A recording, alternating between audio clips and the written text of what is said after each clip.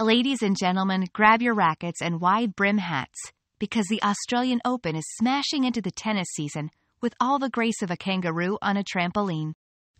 In a display of sheer power that could turn a tennis ball into a pancake, Aryna Sabalenka just blasted past Ella Seidel.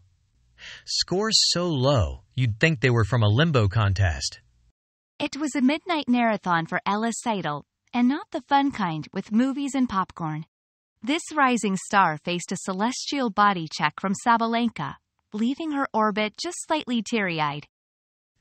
Due to a previous match that was longer than a grocery store receipt, Seidel's biggest game started when most fans were already dreaming of backhands and breakpoints.